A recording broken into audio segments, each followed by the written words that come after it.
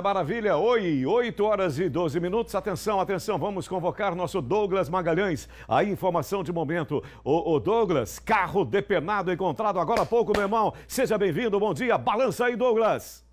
E o balanço geral já está aqui no bairro José Conrado de Araújo, Rua Recife. Olha só que populares encontraram agora pela manhã esse veículo Fox, placa NVJ 0841, totalmente depenado. Olha só, levaram o os pneus, os quatro pneus, né? E remexeram bastante dentro do carro. Vocês podem olhar aí.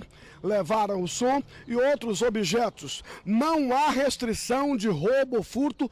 Provavelmente o proprietário nem saiba que o seu carro te, eh, se encontre nestas condições. O pessoal do 8 Batalhão da Polícia Militar, Sargento Roberto, soldado Thales Leno, é nesse momento aqui no local tomando as providências de praxe que o caso requer. Populares encontraram, comunicaram à polícia e aí a polícia no local tomando as providências.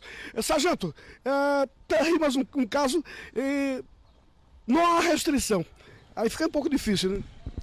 Exatamente, Douglas. É, fomos informados por populares que, que esse veículo estaria aí nessas condições e estamos aqui aguardando, mantendo alguns contatos na, na, tentativa de localizar o proprietário do veículo, entendeu? Remexeram com tudo? Remexeram com tudo, levaram quatro pneus, apesar de ter um aí, mas o step foi levado também.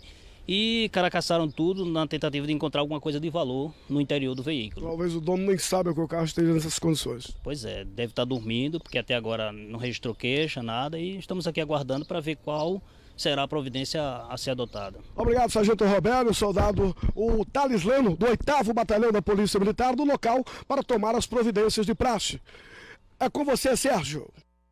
Beleza, já, já pensou, DJ? Aliás, cadê o Macílio do Picolé? É, tá fazendo falta. Ué, tá fazendo falta. Cadê o cara? Preciso saber do cara, como é que tá o, o Mas você já pensou o seu carango, de repente, você chega lá, tá depenado, hein, Arthur? Já pensou que doideira? Coisa muito séria, meu irmão. 8 horas e 15 minutos, atenção.